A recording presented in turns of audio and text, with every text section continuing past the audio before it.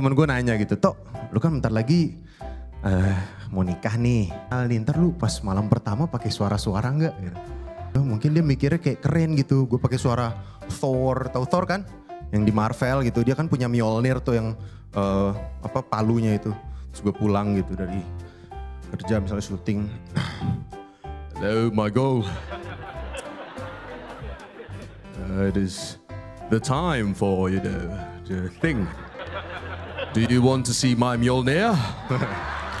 Masalahnya gue lebih suka impersonate suara aneh-aneh gitu. Buka kamar hotel set.